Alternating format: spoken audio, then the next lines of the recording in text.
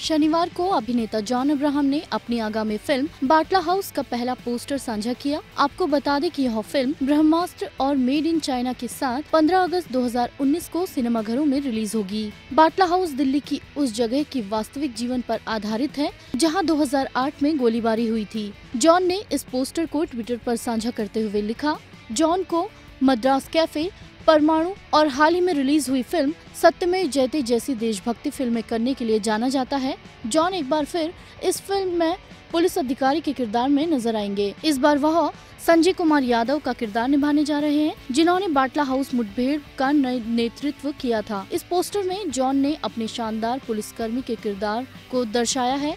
निखिल आडवाणी द्वारा निर्देशित इस फ़िल्म का लेखन रितेश शाह द्वारा किया गया है। रिलीज़ की तारीख की घोषणा करते हुए निखिल आडवाणी ने ट्वीट करते हुए लिखा, आईएनएस रिपोर्ट